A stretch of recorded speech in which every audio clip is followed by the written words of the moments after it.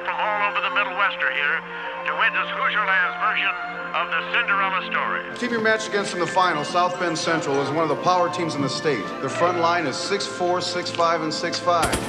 How can your little guys compete? I don't know. I know everything there is to know about the greatest game ever invented. A basketball hero around here is treated like a god. Get caught up thinking about winning or losing this game.